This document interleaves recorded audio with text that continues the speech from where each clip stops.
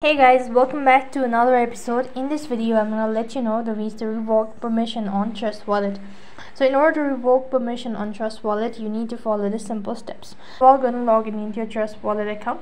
When you're logged in, that's going to take you to the home page, which is going to look something like this. So while you're on this page, you need to go ahead and press on the Discover tab, and over here you need to type in wallet.crystal.app when you type in a link it's going to take you to the offshore piece so go ahead and press the link and here you need to go ahead and connect your wallet.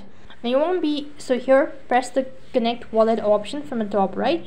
However you won't be able to see the option of trust wallet. So what do you need to do is you need to go ahead and manually type in that or you can just go ahead and connect click on wallet connect. As you press on wallet connect you'll be able to see back to wallet and here you need to go and locate trust wallet so go ahead and press on it. And when you select trust wallet next thing you need to follow the prompt. And with that you should be able to revoke permission on trust wallet.